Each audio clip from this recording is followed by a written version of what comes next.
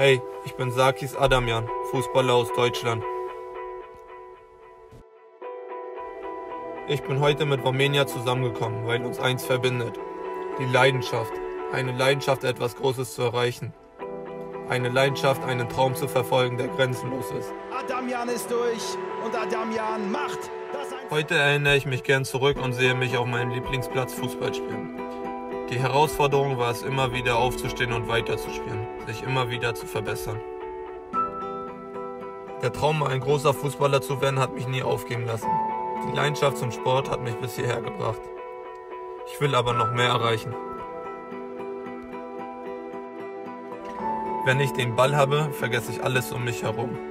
Auf dem Feld fühle ich mich frei, es gibt mir die Kraft, von Geipel auf Adamjan. Immer wieder über meine Grenzen 35. hinauszugehen.